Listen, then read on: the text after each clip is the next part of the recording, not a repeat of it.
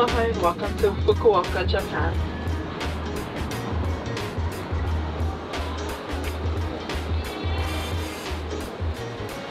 We just made it back to Fukuoka and it feels so good to be back. So last time we were here, we spent all of our time at the sumo tournament we went to, which was great.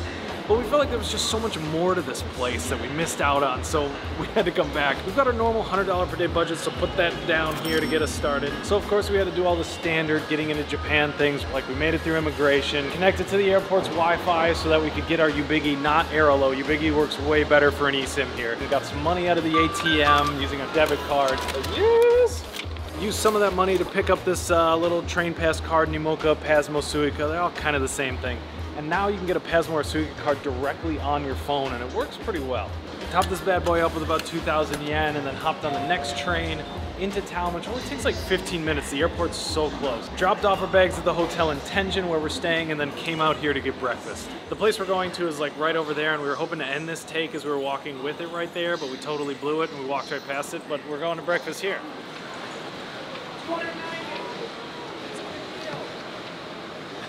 Okay. Maybe all these are the exact same option, but of course we are starting by ordering out of a vending machine as is tradition. Okay, it looks like they have different types of ramen. The four ones at the top, and it looks like it goes from like the softest noodle to the hardest noodle, or to the firmest noodle. Mm. And then all sorts of different toppings that you could put on. I think I'm just gonna go with the standard chasu pork. Nice.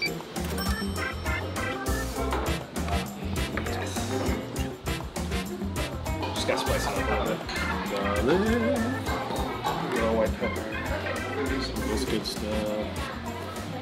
I'm putting just. Welcome back to Fukuoka. Are you talking to yourself? Yes. It's 298 yen and it comes with chasu to begin with and then you can add the stuff. I added pickled mustards and it's delicious. And I there's a part of me that wonders if this is like legit, true Hakata style ramen. I know Ichiran is supposed to be famous for that style, but it tastes worlds different. And I really, really like this. Bye.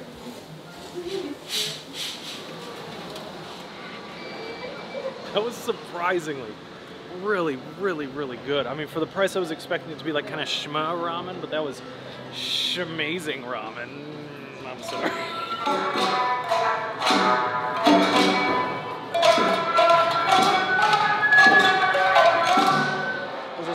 Huge group of people playing a song inside of like a fancy sunglasses store.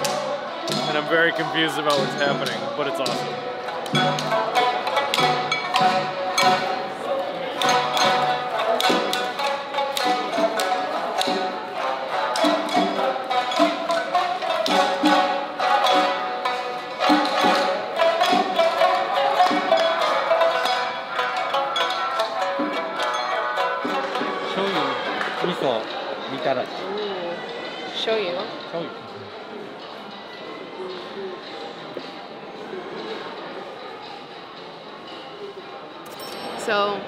Got shoyu, what I think is rice mochi balls, but I don't know, and there is charcoal grilled. Mmm, savory, really good. Mm-hmm. And chewy and sweet on the inside. I love this. What I just saw was that they're apparently selling like a cheese coin for just 10. I gotta go find out what that is.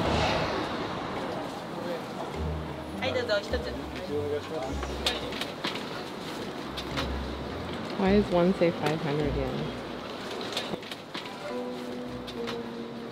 Oh. Uh, so, the thing is, a 10 yen coin filled with cheese. The thing costs 500 yen. this. I mean, what am I gonna do? You know, like they had already wrapped it all up for me real nice and they handed it to me. I'm not just gonna say no. I bet it's gonna be really good. I feel pretty dumb. Let's check it out. That's a 10 yen coin. That's pretty good. Fluffy waffle pancake texture with a bunch of mozzarella cheese in there. Ooh. So it's like a 30 minute walk from where we are right now in downtown, past the park. There seems to be a parade going on. It just kind of like is randomly going back and forth, people playing music. There's so much life in this city right now. This is a very expensive 10 yen coin.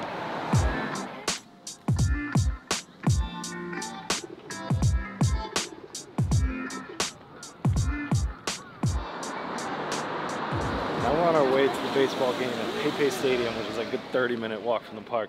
And each block closer that we get, we just keep acquiring like more and more and more people. And now we're just in this one giant long line of people all heading straight for the stadium. This is kind of a middle of the afternoon baseball game, which you might think might not be the most exciting, but from what I've heard, Japan does baseball better than anyone else.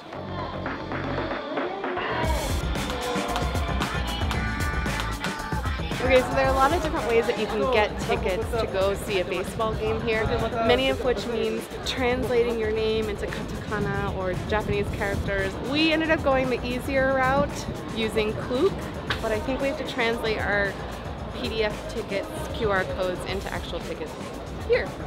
Let's see.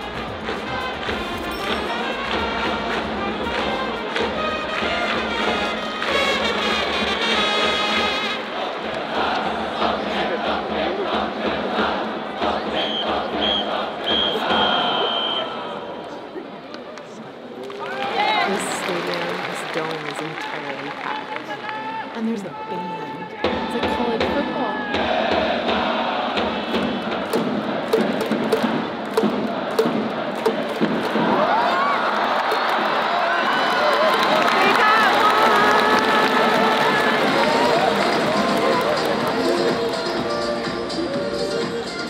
the cheering out here is just on an entire other level. Like from the very first pitch, it has just been nonstop, like cheering, drumming, yelling. I, just- I love the energy in here. It's also positive. It's awesome.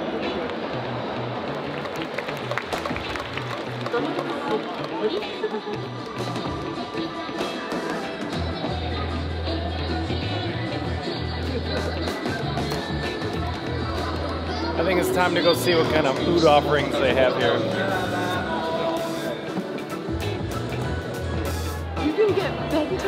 The coach and for your favorite players. Those look pretty epic. There's a KFC in the stadium. They've got fish cakes, fish on a stick. Got some soft cream dessert that looks like noodles. And it seems like the two beers here are Kirin and Asahi. They had people walking up and down the stairs offering them on their backpacks, but they also sell them here too. There's a food hall. I think I think we can leave and come back in. Okay, so so far it's interesting because in there the food prices are actually pretty affordable and pretty comparable to stuff that you would buy like at KFC or Moss Burger. All the options are incredible. There are a lot of them, but you can't you can't change who we are to the core. We're on a budget, so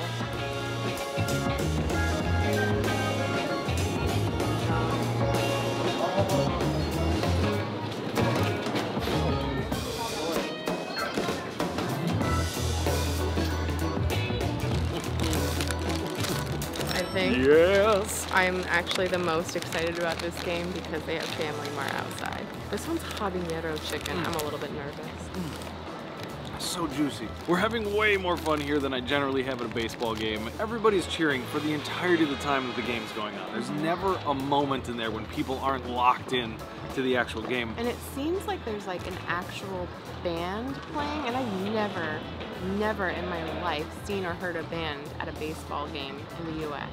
Yeah, in every baseball game that I've been to, the number one thing that you went there for was just to hang out with your friends, and then baseball was just kind of like happening in the background around you, unless you were at a playoff game or like one of the very few very important games during the season. But for the vast majority of the time, you were just kind of sitting there chatting with your friends, and then occasionally would turn to the game and be like, "Wow, something happened," and then you just go back to chatting. But here, everyone is just locked into the game, very like super present and very supportive of all the players. You can tell people are here for the baseball.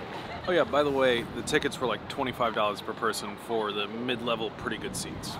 Not bad.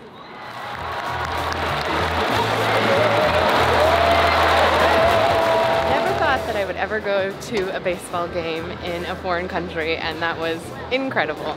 I mean, most of the time at baseball games, I'm barely paying attention, but this time I was always paying attention. There's, there's always something.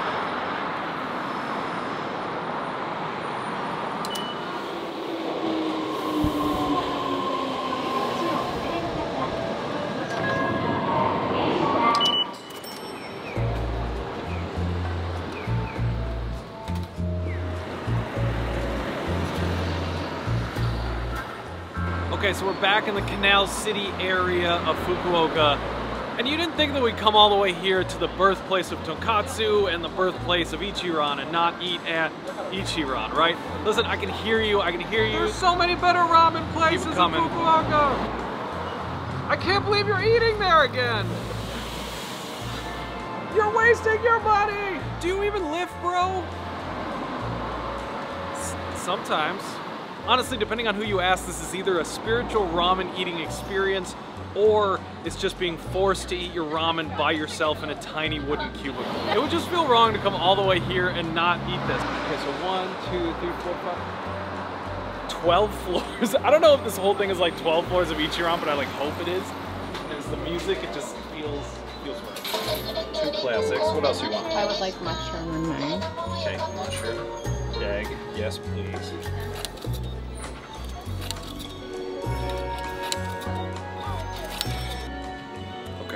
Gotta wait 10 minutes to get a seat, and then we'll be good to go. I have all of these papers that represent the food that we just ordered. So we just got an order sheet where you get to circle your preferences. You can customize.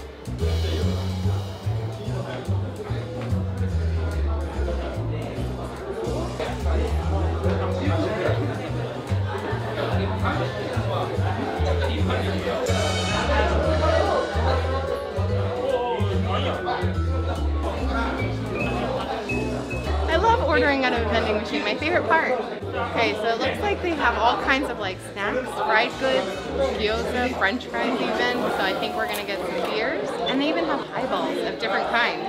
And craft beer.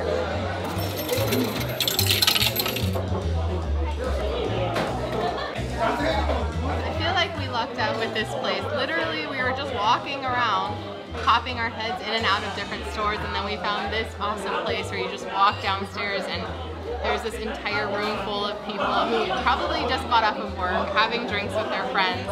It's proof to me that not everything that is happy and good in this world is on Google reviews. and this was all super affordable. This gigantic bottle of beer was about five dollars. This highball, high value, was three, four dollars. I love this place. It's, there's so much energy and there's so much life here, and you can tell that people come here to unwind. So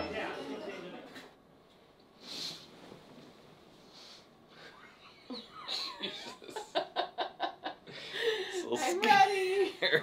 so scary. Okay, so this is our hotel. It is day two. Uh, I'd give you a hotel tour, but you're Behold. you're looking at all of it. There's a bathroom back there. I'm not gonna waste your time showing you the bathroom. Oh, oh boy, oh boy. I won't subject you to any more of that. Let's get out and do some fun stuff.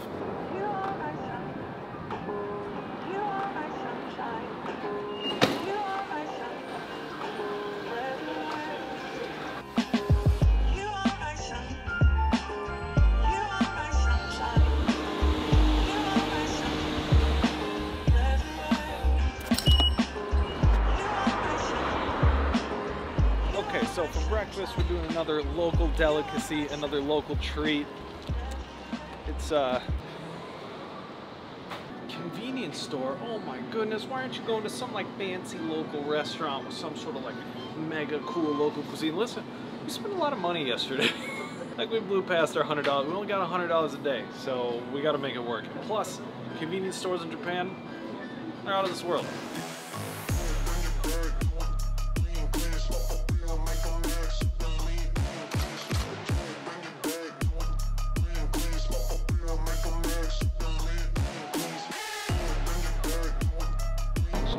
Stuff. They'll even heat it up for you right in store. Like, you can get a Loco Moco. You can, you can get some rice bowls. We get some French fries.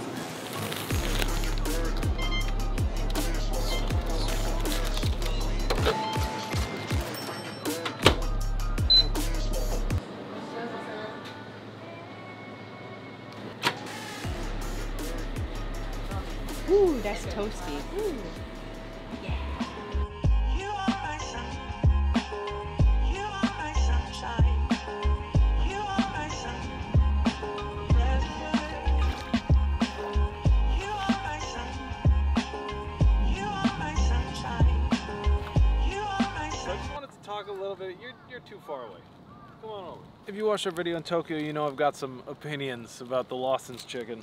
But my new favorite thing is the Japanese McGriddle.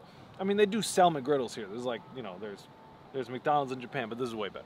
Lawson's, boneless, spicy chicken, put in between two delicious looking and tasting pancakes with maple syrup already on them. Oh, yeah.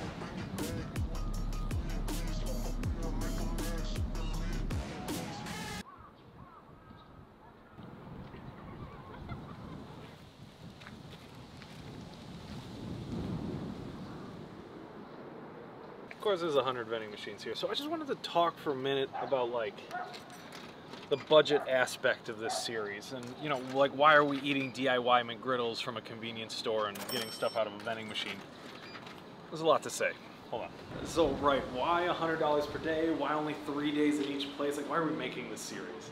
It's a good question, and there are a couple of big reasons. I think the first and most important of that is like, this is actually how we travel, and this is actually the budget that we're on. And then also, this thing I've been seeing on YouTube, especially in travel YouTube, it's just become all these incredibly unattainable, kind of ridiculous experiences like private train rides across India and like $20,000 airplane seats, and those are awesome and really, really like exciting to watch and entertaining, but it doesn't, it's just not how we travel. That's not how anyone that I know travels. From the beginning of this channel, the thing that we've wanted to do more than anything is be helpful. We've wanted to help people travel, help more people get out into the world. So that's exactly why we're doing this series, right? Is to be able to show real travel in the way that real people do it on a real budget, so that way you out there can actually travel the world yourself too. So we go to convenience stores and we spend, you know, a dollar or two buying stuff there, so that way we have more money to spend on awesome stuff like the thing we're about to do right now. I'm so excited for this. The last one was so cool. like it's just one of those things that I've never experienced anywhere else. I just felt like you're transported into another world. Nice.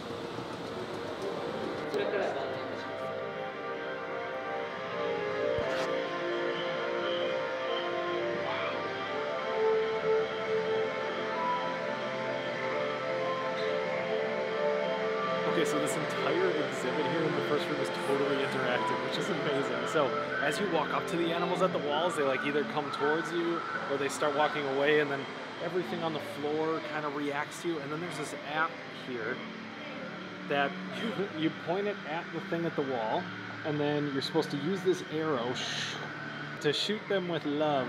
That's so cool. I caught a sun bear. High risk of endangerment in the wild. And then it kind of teaches you all about the sun bear. I just love how Team Labs took what everyone's already doing, which is using their phones and getting them to learn while they do it. So smart and it's so incredibly beautiful. I think we're gonna head to the next room now. I bet it gets even cooler.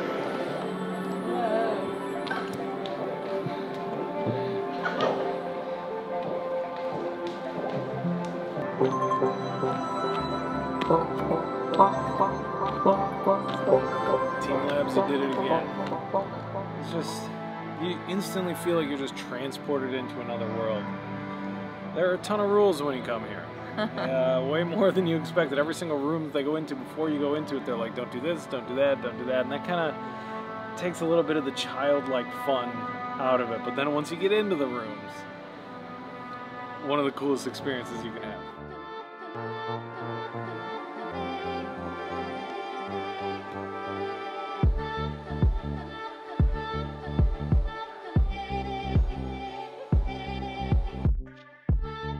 They gave us the option to speed run the whole thing one more time, and that's exactly what we're gonna do.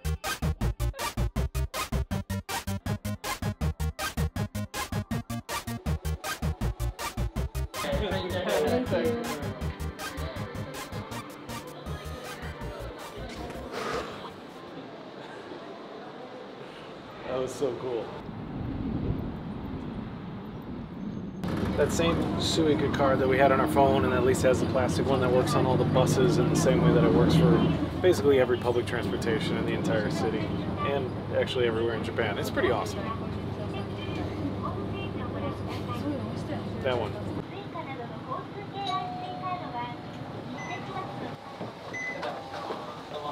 あり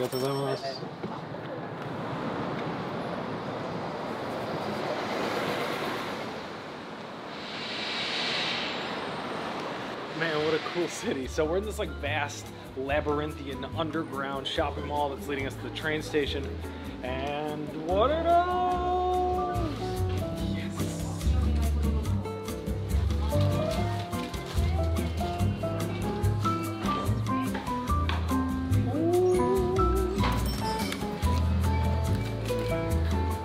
This is basically a tiny cheesecake. Oh my god, that's good. Okay, now we're ready to head up.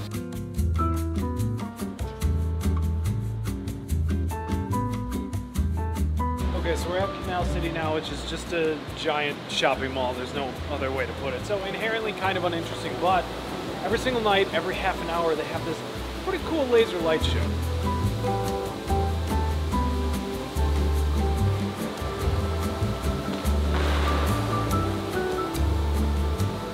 So now we're gonna walk through this Canal City area. This is just so like idyllic at night, and it's just so chill in comparison to some of the bigger cities like Osaka and Tokyo. It's just so nice. I love this place. Uh, cue the montage.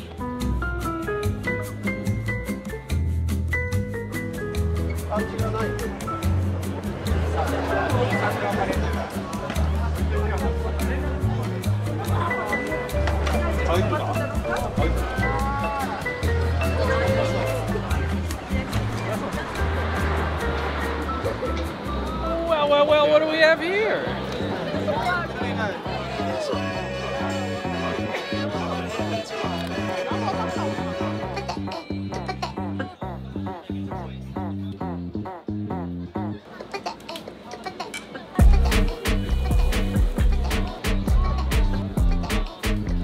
So we walked by a bunch of those yatai stalls and they look great and they smell great, but then we heard this music and just saw this like party happening over here and everybody like starting all sorts of different meats on fire and this just, I don't know, this seemed awesome. we just, we were so excited we had to check this thing out.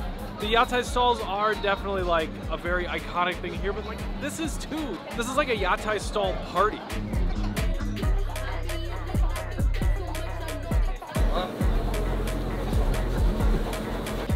What'd you get? Being from Wisconsin, I try to get a brat basically everywhere that I go. Ooh, very herby.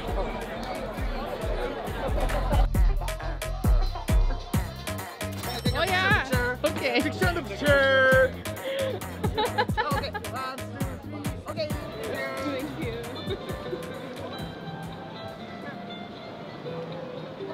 You know, when we were first planning this video to come to Fukuoka, I felt like I didn't, I didn't know what to say. You know, like it doesn't have the giant temples like Kyoto has, and it doesn't have like the super big food market like Osaka does, and it doesn't have the friggin' everything like Tokyo does. But then I realized that Fukuoka is just all of those things combined. It's just like the incredible temples and the street food and the night markets and the yatai stalls and just the constant surprising awesomeness that happens every single day here. All within this affordable, approachable package. It's not overwhelming. It's just, it's just right. It's just nonstop awesome here in Fukuoka. All right, that is it for today. We're calling it. We'll see you in the morning. Okay,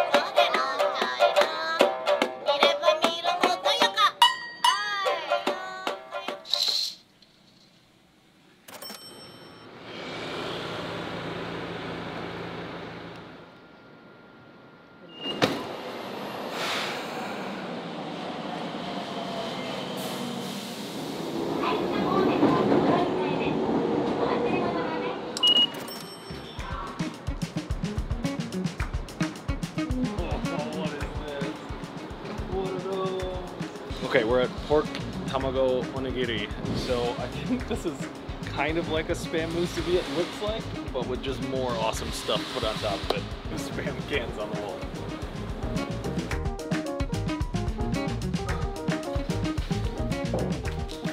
Lucky number seven, so we're just waiting for our food to come up.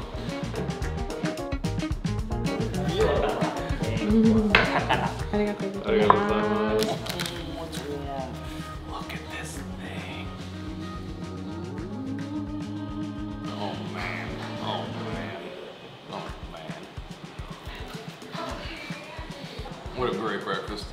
So savory, so spammy, so eggy, very filling, and then like nori is like nicely wrapped around the outside, around the outside, around the outside. This is delicious. Obviously, this is a bit different than the spam mushibis at the ABC store. It's bigger, first of all. It's like a sandwich. And yeah, I really like the I really like the vegetable edition. So tasty. It was about 500 yen, which is like three dollars, about the cost of a mushibi. Spam sandwich, you are so good to me.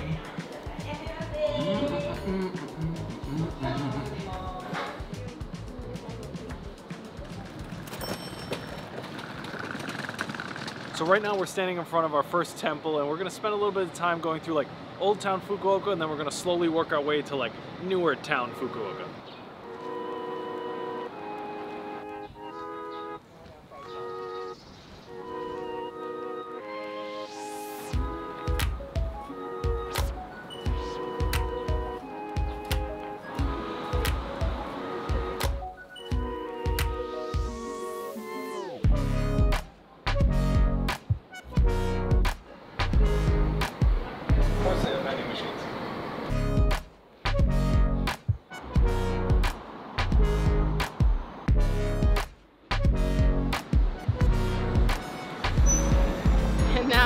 Are back on the big streets in the big city. I love that there's just like an entire walk of just peaceful shrines and temples scattered throughout this old town.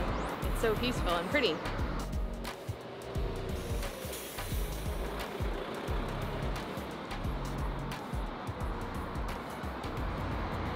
Okay, we just got a quick stop back at our hotel. I gotta put on my fancy dress t-shirt. Uh, Hi, I wanted to see you. We're about to go have dinner. what kind of dinner are we We're having some local Fukuoka food. So where are we? I have no idea. You know, the first time we came to Fukuoka, it was kind of an accident. We got tickets to the Grand Sumo tournament and we might not have come otherwise. We honestly probably wouldn't have ended up making this video without that happening in the first place. But what a huge mistake that would have been. On that trip, we experienced sumo, wandered the beautiful canals, and most importantly, made some awesome friends like the ones that invited us out tonight for a uniquely Fukuokan meal called motsunabe or beef tripe stew. Uh, this is motsunabe oishi. Matsunabe, and Matsunabe is No, not matsu. Motsunabe. Motsunabe. Motsunabe. And- Motsu means inside. Okay. It's in, in oh inside like the Inside. intestine. Intestine. Also beef intestine. Is that beef? You? Gyu means beef.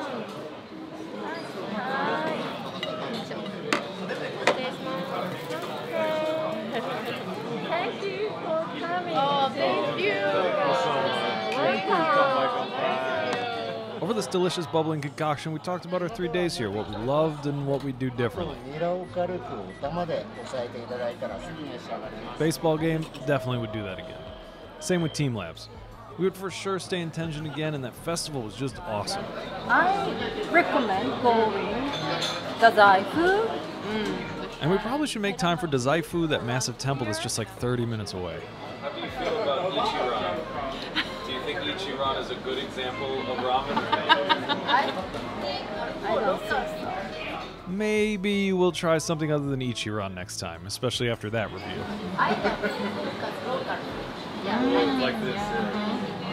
Yes, this is very special. The food has been very, very good here.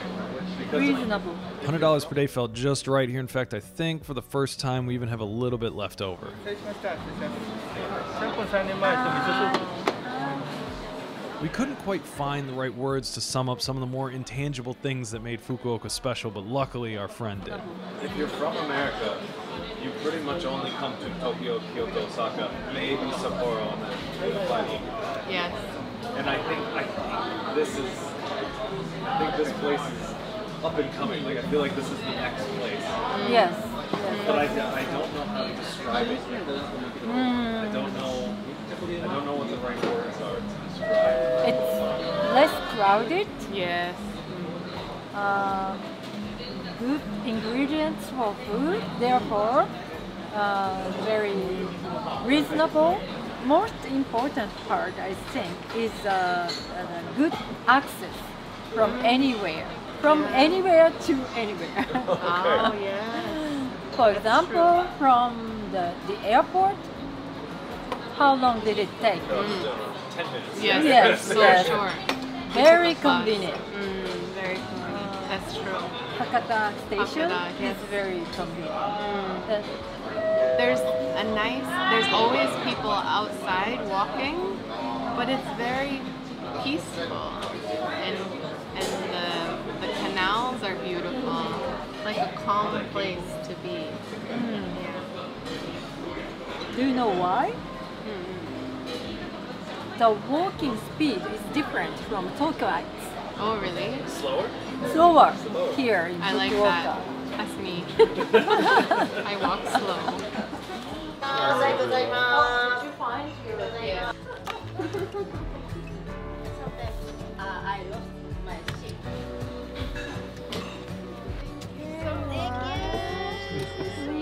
It's so good to see you. Tokyo a lot. Yes, for hours. Yes. Thank you so much. Oh yeah, one last thing to do. I mean, we can't leave Fukuoka without going to one of the famous yatai stalls, right?